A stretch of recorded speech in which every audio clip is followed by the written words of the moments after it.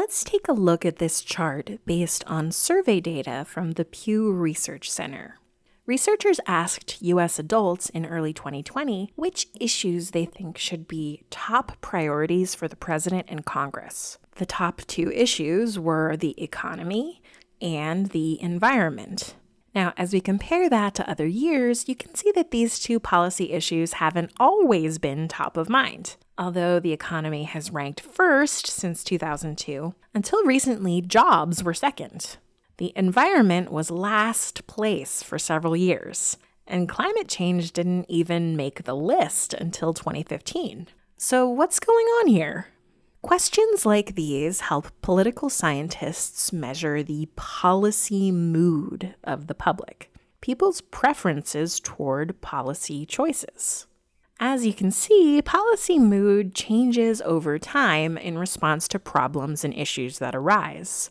For example, in 2009, as a response to the economic crash, surveyed adults responded that jobs should be a top priority. But in 2020, after a period of economic recovery and low unemployment, jobs had fallen as a main concern and new issues had taken its place. Climate change has become a major concern for many people, which wasn't even a term that people knew a few decades ago. Conversely, a poll like this taken in 1980 might have shown containing communism as a main concern, but since the fall of the Soviet Union, that has dropped off the list. These measures of policy mood help politicians and political parties craft their policy agendas in order to attract voters and serve their constituents. But if so many people think that the economy should be a major priority, why don't voters all just agree on a course of action? Here's where ideological differences come into play. Political scientists sometimes divide policy issues into position issues and valence issues.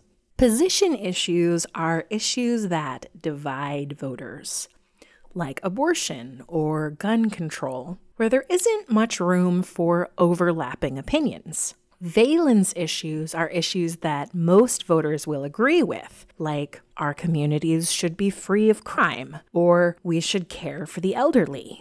These are high level values that cut across partisan lines, but the parties might differ on how to achieve those outcomes. For example, although both Democrats and Republicans might want to reduce drug use, Republicans might argue that tougher drug laws are most likely to achieve that goal, while Democrats might argue that prevention and education programs would be more effective.